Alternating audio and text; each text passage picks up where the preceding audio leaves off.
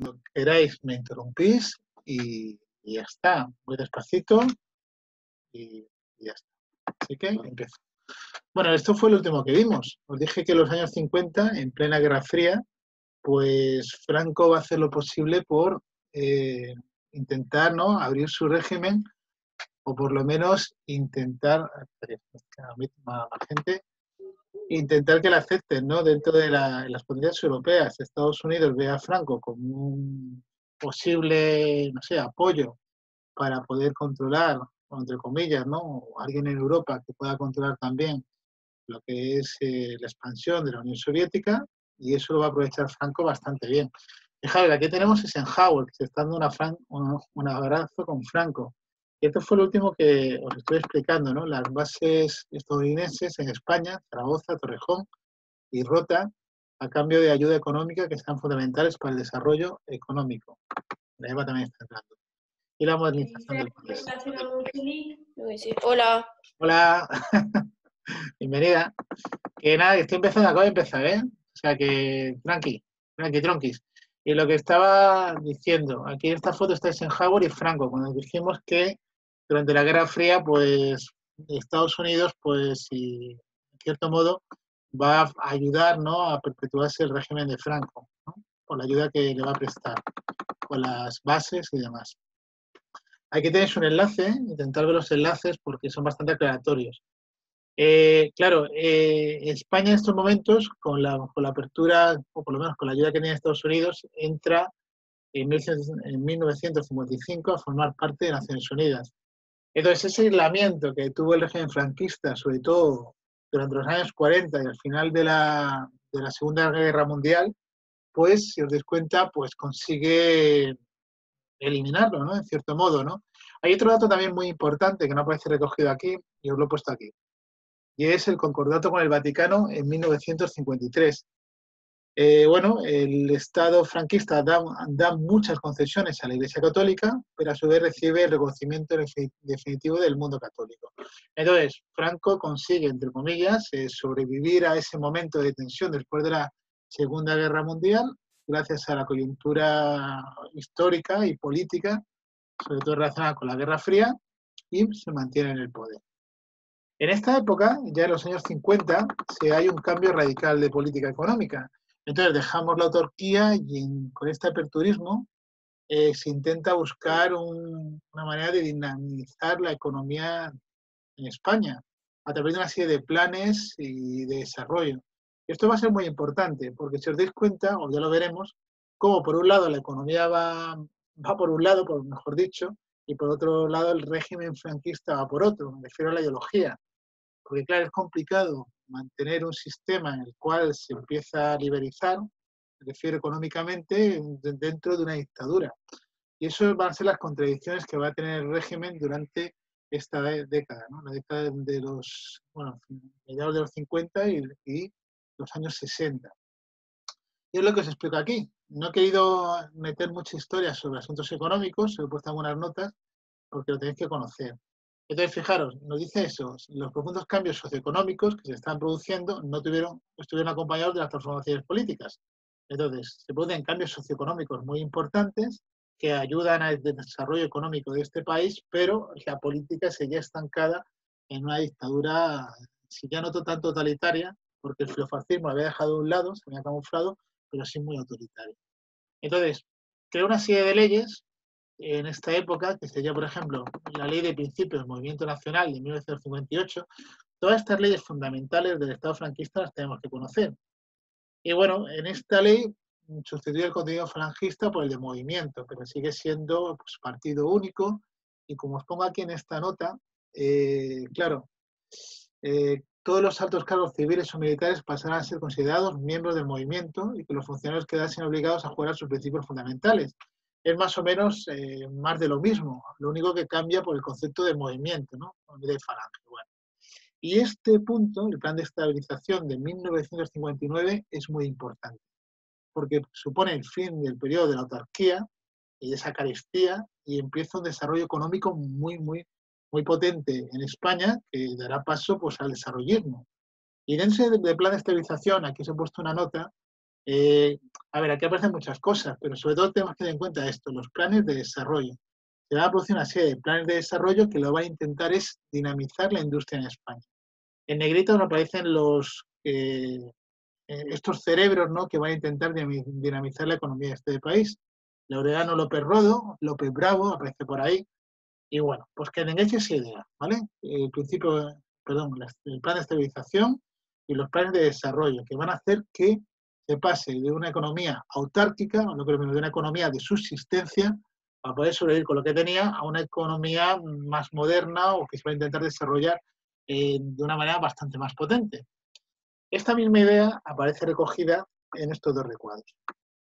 Entonces, si os dais cuenta, en los años 60 aparecen dos familias políticas fundamentales en el régimen. Por un lado, los tecnócratas del Opus Dei, bueno, que aquí nos hablan de Carrero Blanco, ya vemos quién es Carrero Blanco, entre los que destacaron Laureano López Rodo, que hemos, que hemos visto hace un momento, cuando hablamos de, hablábamos de los planes de desarrollo, y López Bravo y Fraga. Esta gente, ¿qué va a intentar hacer? Lo vuelvo a repetir. Oye, si tenéis cualquier duda, por favor, paradme. ¿Vale? Liberalización económica para modernizar el país. Quedaros con eso. España en los años 50 estaba hecha, voy a decir una, una mierda, estaba fatal. ¿no? Entonces intentan generar un desarrollo económico que teniendo en cuenta que en estos momentos han conseguido un aperturismo, por lo menos que las potencias europeas no les tengan aislados.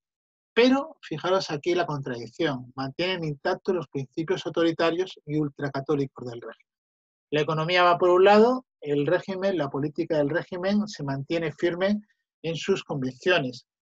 Claro, ¿cuál es la idea de estos tecnócratas? Fijaros, objetivo a medio plazo era entronizar a una monarquía autoritaria, claro, cuando Franco muriera, una monarquía autoritaria, en la figura de don Juan Carlos de Borbón, que permitirá la perpetuación del franquismo una vez fallecido Franco. Esta gente planteaba bueno, pues venga, modernizamos la economía, pero de, aspecto político, cuando muera Franco, don Juan Carlos de Borbón va a seguir los pasos de Franco generando una dictadura o una monarquía autoritaria. ¿Vale? Dentro del franquismo había otra parte que eran los reformistas del movimiento, eh, que pedían que el régimen se modernizara o por lo menos se transformara de alguna manera, ¿no? Hacia posiciones más moderadas. ¿Quién va a encabezar esto? Fernando Castiera, Manuel Fraga, que os tiene que sonar, porque durante muchos años fue el presidente de Alianza Popular, lo que antiguamente eh, así se llamaba el Partido Popular, y Antonio Solís Ruiz. Bueno, esto lo veremos sobre todo en la transición, cuando veamos estas dos posturas. Por ahora bien, ¿no? Os habéis medio enterado de todo esto, ¿no? Es un poquito más complejo. Claro, lo que estamos diciendo, eh, medidas liberalizadoras que se van a desarrollar desde el punto de vista económico durante el régimen franquista y eso va a hacer que España crezca económicamente y bueno, y que mantenga una estabilidad, que es lo que viene aquí. Esto va a legitimar, si, cabe, más la dictadura franquista, porque la gente se va a dar cuenta que, bueno, esos 10 años de miseria, de pobreza, de la autarquía, se van a cambiar y el nivel de vida va a mejorar de una buena parte de la población.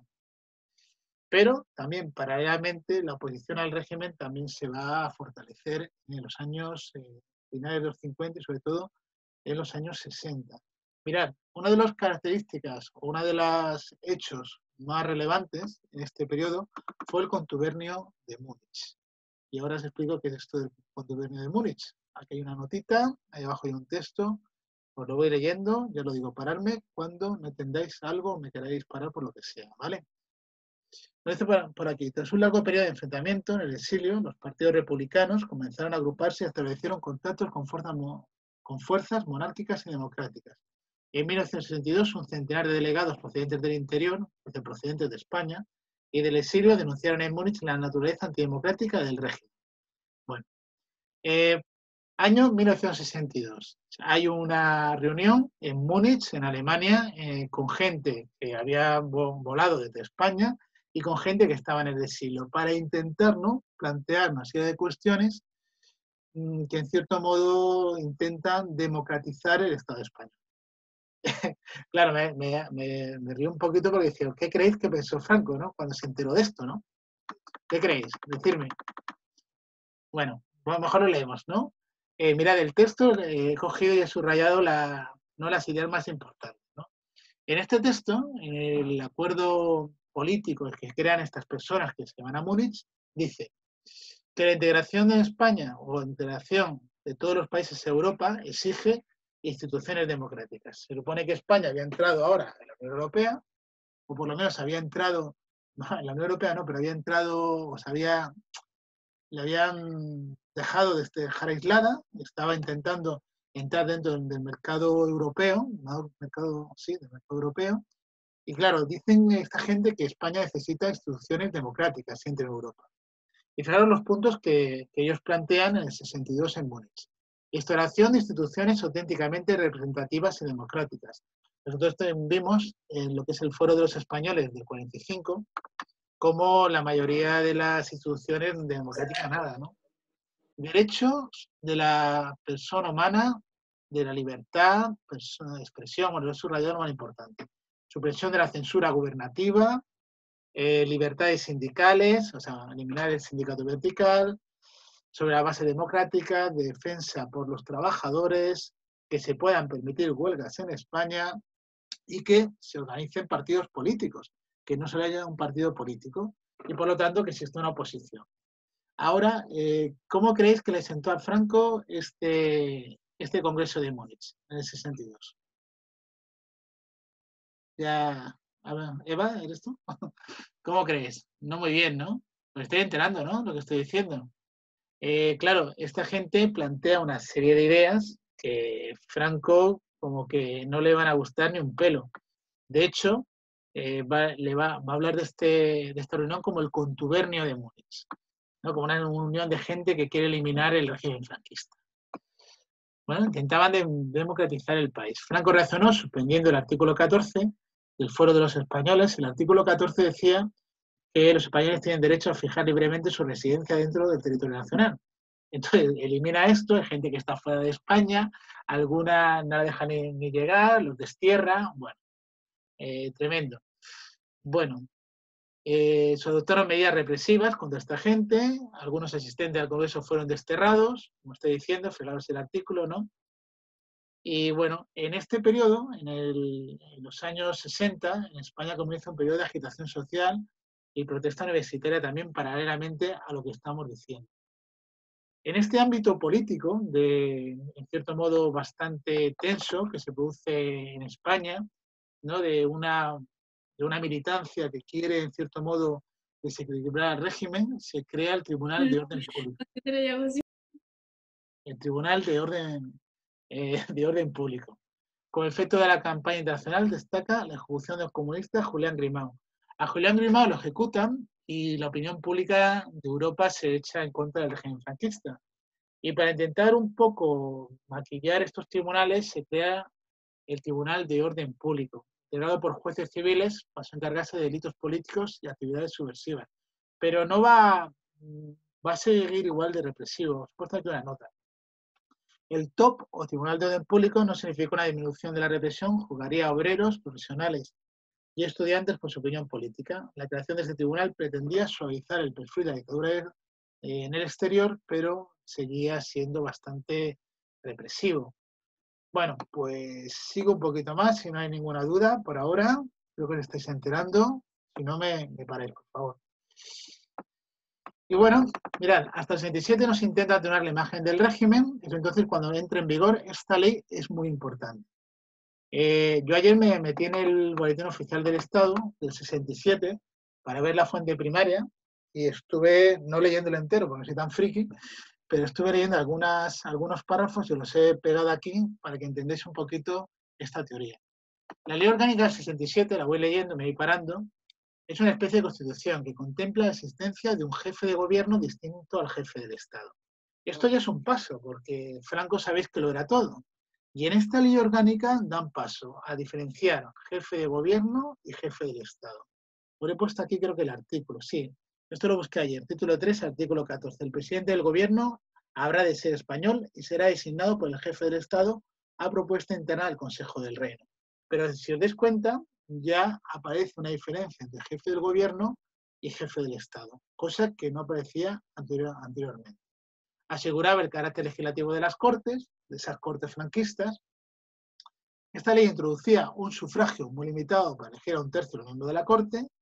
Otro punto importante es el aumento del número de procuradores de las Cortes, bueno, la consideración de la institución monárquica. Mirad, esto también es fundamental, la, la consolidación de la institución monárquica, lo que es lo mismo, que Franco recoge en esta ley orgánica que con su fallecimiento pues se daría paso, si lo ven bien, está este, el gobierno que estuviera gobernando en ese momento, a la instalación de una monarquía en España. Entonces la institución monárquica se consolida. Os le he sacado aquí una parte del texto que aparece recogida en la ley orgánica. Confirmada, a ver, le voy a dar aquí para que sea mejor. Sí, confirmada la institución monárquica del régimen, ocurrida la muerte o declarada la incapacidad del jefe del Estado, se refiere a Franco, que hubiese designado sucesor, el Consejo de Regencia asumirá los poderes. Deban proponer y deben proponer a las Cortes a título de rey. Eh, lo que he puesto aquí, eh, claro, eh,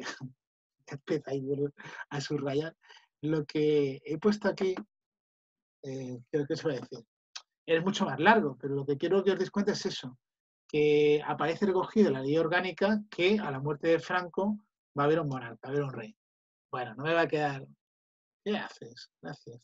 Eh, no me va a quedar otra que tengo aquí una opción, os lo he dicho, ¿eh? que es inhabilitar anotaciones de los participantes. Y no me gustaría hacerlo. Me imagino que será Eva. Así que te lo voy a dejar abierto, ¿vale? Yo no, maestro. Ah, ¿no eres tú? Bueno, pues vale, vale. Como a veces no lo haces tú. Bueno. Bueno, ¿sigo? ¿Os estoy enterando a todo esto? Sí, ¿no? A ver si voy a estar hablando solo. Sí, eh, sí, sí, sí. Vale, por ahora va bien, ¿no? Por ahora va bien. Pues sigo un poquito más. Eh,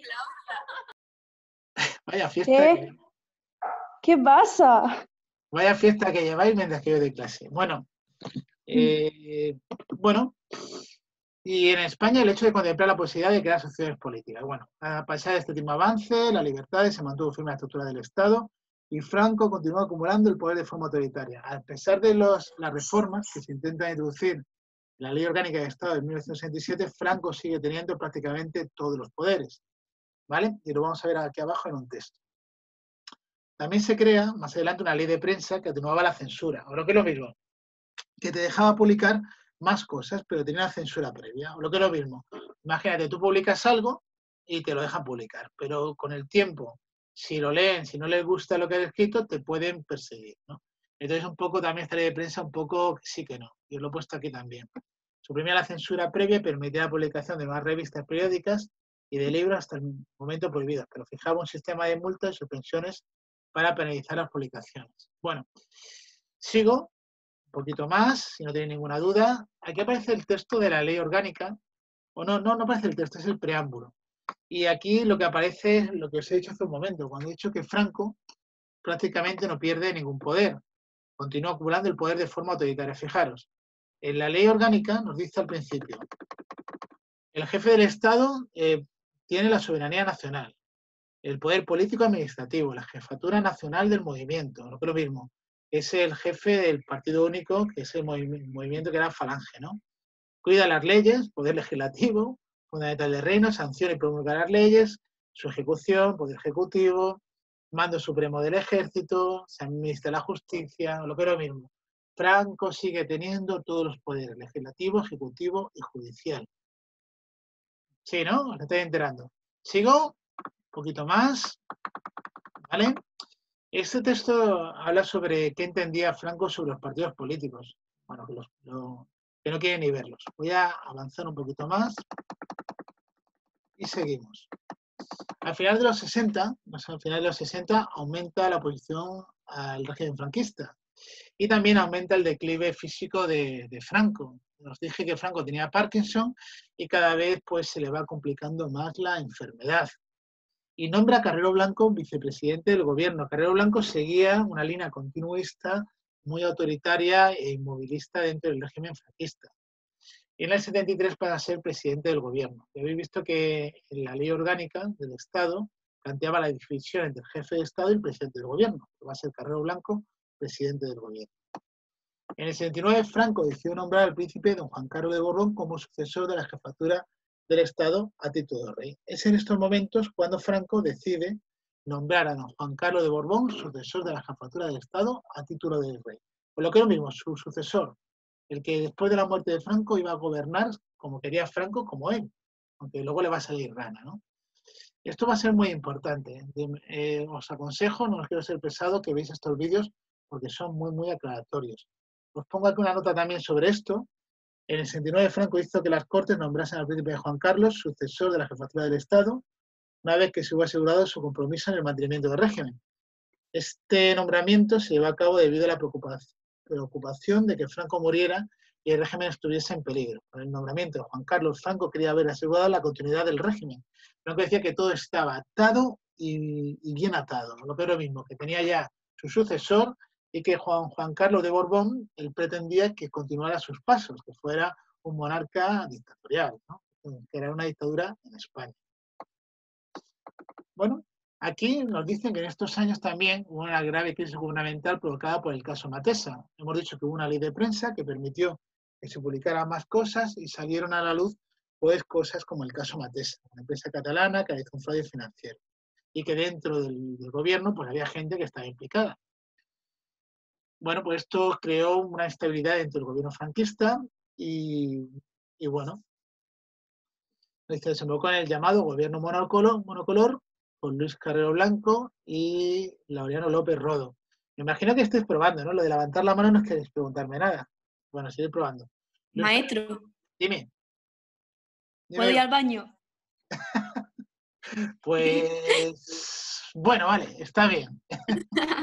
Oye, pero toma el pase vacío. Ah, la llave, vale, vale. Ya va a ser, oye, apúntate en la lista, ¿de acuerdo? Apúntate en la lista Vale. Y si quieres te doy el pase pasillo, te doy el corazón, como tú quieras. Vale, el corazón mola más. El corazón mola más. El que no te gemeas con el corazón es que no tiene corazón. Bueno, venga, ahora te veo, ¿vale? Eh, lo que estoy diciendo, eh, este, este escándalo creó un gobierno monocolor, ¿no? De Luis Carrero Blanco y Loreno López Rodo, o lo que es lo mismo, un gobierno bastante autoritario. Otro punto importante al final de- del franquismo es que se agudiza el terrorismo. No sé si os suena, os tiene que sonar ETA y demás, ¿no? Pues empieza a desarrollarse el terrorismo de ETA. Se produce el juicio de Burgos, una serie de, de penas de muerte que se redactan, eh, de, bueno, decreto de represión del terrorismo, os he puesto aquí también de qué va esto, y bueno, y se abre un proceso contra dirigentes de comisiones obreras. Hay, una, hay un asesinato o un atentado muy fuerte que produce ETA en estos momentos, el 20 de diciembre, pues ETA asesina a Carrero Blanco.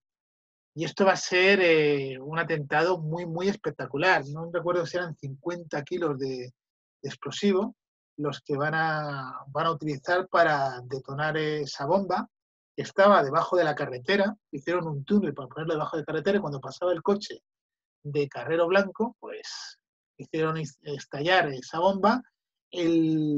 El, ah, decir el avión. El, el coche dio tal explosión que, que se elevó tan, tan alto que subió una, que, que subió una tapia, no subió bueno, que, vamos, que empezó a volar el coche y cayó encima dentro de, un colegio, ¿no? La tapia y demás, fue, vamos, un atentado realmente espectacular, me refiero al aspecto de que fue muy, muy fuerte, ¿no?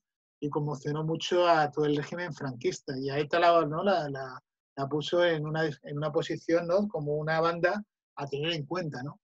Bueno, pues el asesinato de Carrero Blanco, os aconsejo que le deis un clic ahí también para que lo veáis, porque realmente es espectacular, ¿no? Lo que pasó por aquí, ¿no? Bueno, pues tras la muerte de Carrero Blanco se nombra a Carlos Arias Navarro, que representaba el búnker, lo lo mismo, aquellos franquistas que no querían ningún tipo de, de cambio de régimen franquista. Y el 75 se condena a muerte a presos de ETA. Bueno, pues eso dentro de, de la historia franquista era normal. Estamos ya en la muerte de Franco. Fijaros que hemos ido avanzando y estamos en el 20 de noviembre de 1975. Y finalmente, después de agonizar de una serie de complicaciones en su enfermedad, Franco muere. Os he puesto aquí el parte médico de Franco para que veáis en cierto modo cómo termina este hombre, ¿no? En cierto modo, ya os dije, yo cuando leí la biografía de Juan Pablo Fusi y estuve leyendo pues cómo las complicaciones que tuvo este hombre al final de su vida, eh, hasta me daba, me daba pena el ser humano, no, no el personaje. Evidentemente no me puede dar pena una persona, un dictador ¿no? que filmaba las penas de muerte tomando café, pero sí eh, el ser humano como tal, porque fijaros, eh, que fuera médico y leyera este parte, mirad, este es el último parte médico de Franco. Enfermedad de Parkinson, infarto de miocardio, de miocardio, úlcera digestiva con hemorragia masiva, peritonitis, fracaso renal agudo, tromboflebitis, bronconeumonía, shock endotóxico, parado, parada cardio, irreversible. Si os dais cuenta, este hombre, sus últimos meses de vida fueron una auténtica condena, vamos, fue horrible, vamos, lo que tuvo que pasar el dictador en la cama, ¿no? Bueno, intentaron no hacer lo, posible por mantenerlo en vida, pero en una agonía constante, ¿no? Bueno, a la muerte del dictador, a la muerte de Franco, el 20 de noviembre del 65, el final del franquismo se plantea en un contexto internacional. Eh, claro, desfavorable, porque en otros países que había dictaduras empiezan a surgir democracias, como en Grecia o en Portugal. Y por otro lado, en el Sáhara se produce la Marcha Verde. No sé si os suena lo de la Marcha Verde. Pues os he puesto aquí una nota también relacionada con la Marcha Verde. Pues el rey de Marruecos, Hassan II, monta la Marcha Verde y varios cientos de miles de marroquíes desarmados se presentaron de las fronteras del Sáhara. Os recuerdo eh, que el Sáhara era español.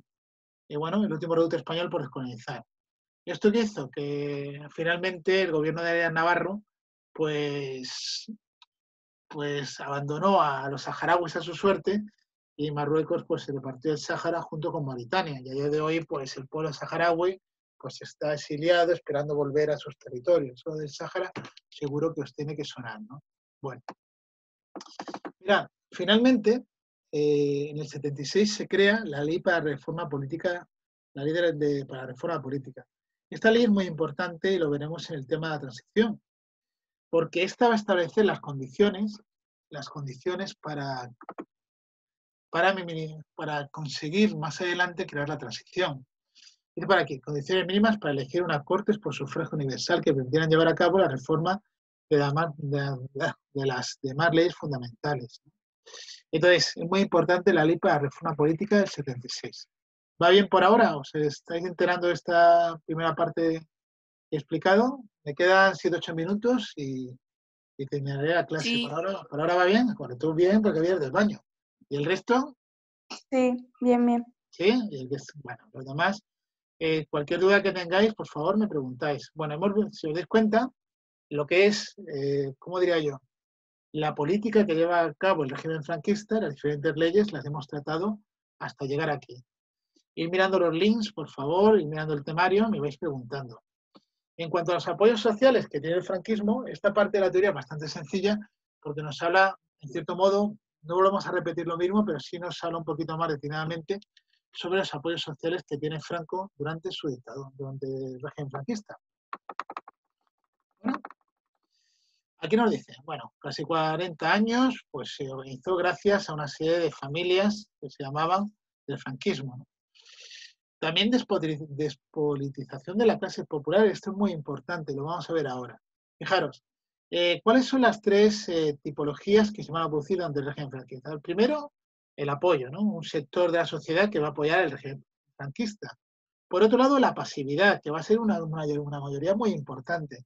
Esto lo decía eh, Ana Arendt, que era una filósofa, cuando hablaba sobre el nacionalsocialismo alemán, ¿no? Y hablaba sobre los totalitarismos. Y creo que alguna vez os lo he dicho en clase, que la dictadura lo que quieren muchas veces, más que los apoyes a muerte, es que no pienses, que directamente tengas pasividad ¿no? ante, ante los acontecimientos y ante lo que te pasa en la vida ¿no? ese, durante esos regímenes. Porque si no piensas, o por lo menos tienes esa pasividad, no eres peligroso. En el momento que nosotros discernimos, que reflexionamos sobre las cosas, que nos podemos poner, tener un, ¿cómo yo? Una opinión ¿no? personal sobre las cosas, un criterio, y nos posicionamos, podemos llegar a ser peligrosos. Por lo tanto, la pasividad es algo fundamental que persigue, persigue todo régimen autoritario, dictatorial, ¿no? Simplemente que no pienses, que no reflexiones, que simplemente acates la las órdenes. Y por otro lado, el rechazo. Entonces, apoyo, pasividad y el rechazo. ¿Apoyo de quién? De las élites económicas y sociales. Pues imaginaros, terratenientes, empresarios financieros, comerciantes, profesionales liberales. Eh, también adhesión de los medianos y pequeños propietarios del norte de España. También apoyaron al régimen franquista y al alzamiento militar. Y mirad, tenemos que decir aquí. Eh, en el 39 las clases medias, formada por un sector social políticamente desconcertado, eh, bueno, la, durante la Guerra Civil se ha visto claramente desbordada por las revoluciones sociales. ¿Os acordáis que hablábamos de cómo en el régimen republicano, pues un sector determinado intentaba generar esta revolución colectivista y demás? Pues un sector de este moderado, que era democrático, en cierto modo, eh, pues también le tenía miedo a estas cosas, ¿no? Entonces, eh, aunque tenía un rechazo a la ideología franquista, también tenía ese trauma de la guerra, ¿no? De esa... Entonces, en cierto modo, eh, actuó de manera pasiva o apolítica, no quería meterse en problemas y quería, bueno, pues dejar que el tiempo pasara. Los carlistas también apoyaran, apoyaran el régimen, también de manera importante. Y bueno, y una buena parte de los sectores populares se consideran perdedores de la guerra civil y fueron los primeros protagonistas de la oposición al franquismo. Quizás los sectores más populares pues serán los que van a iniciar esta, bueno, van a estar en contra del régimen franquista. Pero claro, ya lo hemos visto al principio del tema, represión, la represión del régimen franquista los primeros años fue muy dura, el miedo. Eh, hace poco vi una película que es la, se llama La trinchera infinita, creo recordar que se llamaba así, que que ganó un Goya, el mejor actor, ahora no me sale el nombre, tiene un pedazo de actor. Y ¿sabes? la película va de, los topos, me refiero, de aquellas personas que tras terminar la guerra civil se tuvieron que esconder, esconder en sus casas, que dentro de las casas crearon falsos techos, eh, falsas paredes, que se estuvieron emparedados, y nunca mejor dicho, entre pared y pared, por miedo a la represión que podía tener el régimen franquista sobre ellos. Estuvieron hasta 30 años. Metidos escondidos, ¿no? Hasta que se creó la línea amnistía. Y esto ocurrió en este país. Fijaros hasta qué punto, ¿no? El miedo a la represión no pudo haber en este país. Os la aconsejo, aunque es dura, la, la película Frontera Infinita, si no echar un ojito al trailer a ver qué os parece, ¿no? Y el control policial junto con el hambre, la miseria, el miedo, la represión y el afán de supervivencia. Está en Netflix la película, maestro. Pues esa peli, a ver, una, eh, no, no os voy a engañar, una peli dura porque cuenta la historia, también es muy, muy trepidante, ¿eh? aunque no, no, no parezca, ¿eh? cuenta la historia de, este hombre que intenta escapar al final de la guerra civil y bueno, se mete, intenta por eso, lo intentan esconder y se tira el tío prácticamente hasta el 65, que creo que fue la ley de amnistía, escondido para que no lo, no lo encontraran, pero en, en su casa, entre pared y pared, bueno, y refleja mucho también esa cantidad de personas, ¿no? de, cientos de personas, miles, que estuvieron escondidas ¿no? por el miedo a la represión. Bueno, evolución social, que ya voy terminando. Eh, las familias, la base social del franquismo. ¿Cuáles son estas familias que van a ayudar al franquismo? Pues si os dais cuenta, de negrita suelo poneros quizás lo, ¿no? directamente lo más importante. La oligarquía agrarias, las industriales y financieras, el ejército, la falange, los monárquicos, los católicos, todos estos grupos son fundamentales para mantener el mantenimiento del régimen franquista. Mirad, aquí volvemos a hablar un poco de las etapas, pero nos, fijamos, en cierto modo, que cómo se van desarrollando los apoyos del franquismo. Entonces, durante la etapa azul, y ya con esto termino, del 39 al 45, se produce el predominio falangista. ya lo sabéis, porque ya sabemos que fue una etapa en la cual eh, Franco coge muchas ideas de Hitler y de Mussolini subordinación absoluta de los vencidos en la guerra, Estado policial militarizado, política de terror en las zonas donde se sabían más rechazados, como el País Vasco Cataluña, la pena de muerte se vuelve a instalar en este país, pues ya os podéis imaginar, ¿no? ¿Cuál es el objetivo principal del régimen franquista durante la época azul? Durante estos primeros cinco años, desde el 40 al 45 fundamentalmente. Pues eliminar cualquier vestigio de oposición, como garantía de la propia supervivencia del nuevo régimen. Lo que es lo mismo, represión contra aquellos que habían formado parte pues, del Frente Popular o que eran republicanos.